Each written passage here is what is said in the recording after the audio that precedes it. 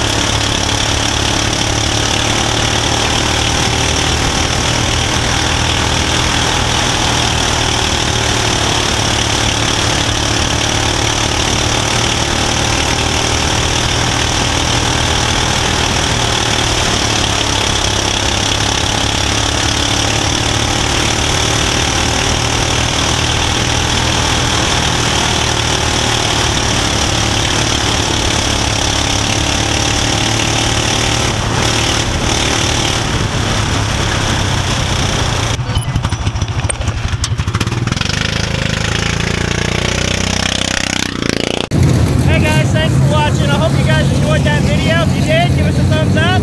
If you didn't, give us a thumbs down. We'll do better next time. Thanks for watching.